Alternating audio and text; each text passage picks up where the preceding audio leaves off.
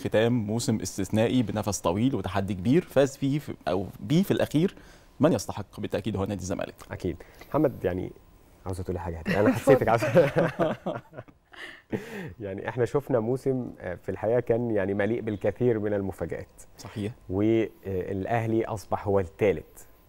والزمالك حصد اللقب ويمكن دي حاجة ما كانتش مفاجأة بالنسبة لنا لأن هو حصد اللقب بقاله فترة يعني أو خلاص محسوم الأمر ما قبل ثلاث أسابيع رسميا لكن بالظبط. محسوم بشكل إكلينيكي من من قبل الأداء. خمس ست أسابيع من قبل الدوري طيب إيه الفرص اللي استغلها نادي الزمالك عشان يقدر اللي هو يعني يقتنص هذا اللقب سقوط المنافسين استغلال الفرص في فكرة إنه اللي حواليك بيساعدوك فأنت لازم تساعد نفسك ركز مع نفسك وقدر إنه آه، آه، يوصل للمكانة المحترمة المنتظرة إنه يفوز باللقب الثاني على التوالي ودي م. رابع مرة في تاريخ نادي الزمالك ما حصلتش إنه فاز بأكتر من لقبين متتاليين وعملها أربع مرات بما فيها آه، نسختين النسخة الحالية أو التي انتهت بالأمس ونسخه العام الماضي العام الماضي يمكن كانت أصعب شوية لأنه الأهلي كان حتى يمكن بينافس للحظات الأخيرة ومباراة الجونة. في الجونة هي التي اثرت بالسلب على منافسة النادي الأهلي في اللحظات الأخيرة وكان الأهلي بتقله في هذا الموسم. لا الأهلي بعيد.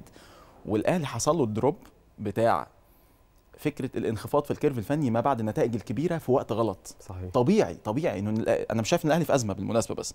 الأهلي الطبيعي بتاعه إنه ينخفض في الكيرف الفني ما بعد النتائج الكبيرة وهي اتنين دوري أبطال أفريقيا في فرق لما بتحقق دوري أبطال إفريقيا ممكن تعيش عليه 10 سنين مثلا.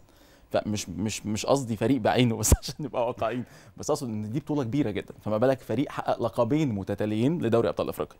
يليهم لقبين متتاليين للسوبر الإفريقي في, في, الأراضي القطرية.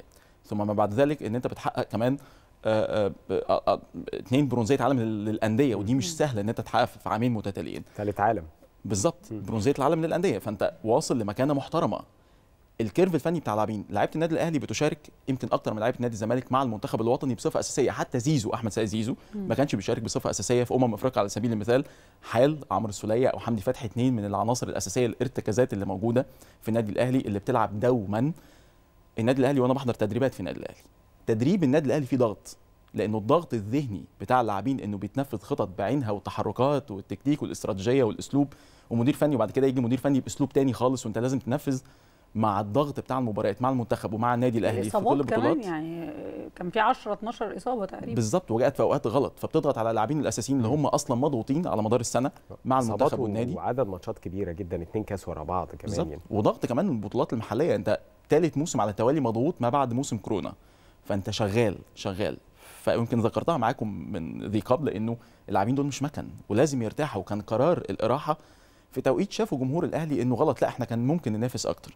لكن في ظروف محيطة بالمباريات قالت لا خلاص الموسم مش بتاعنا إحنا زي ما بيقولوا كده day off يعني خلاص هو سر الموسم تألق الزمالك هل هو بس مسألة إنه آه، استغل ال- المنافسين بالنسبة له اللي ما كانتش في أحسن حالاتها ولا كمان فيريرا كان كلمة سر في الموضوع وإنه اتعلموا من أخطائهم اللي حصلت قبل كده؟ 100% جزء مهم جدا فكرة التعلم من الأخطاء.